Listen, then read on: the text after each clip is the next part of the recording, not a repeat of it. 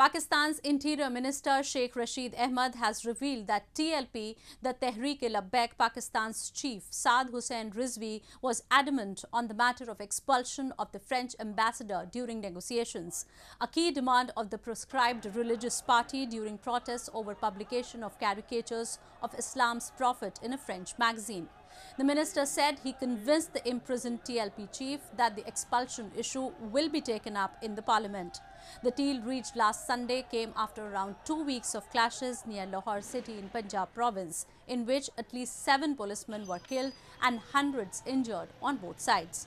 As part of the deal, the group, which was proscribed in April, would also be allowed to contest elections now, reports suggest.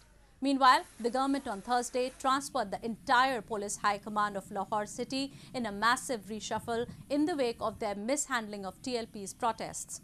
Several regional and district police officers have also been reshuffled across Punjab province, local media reported.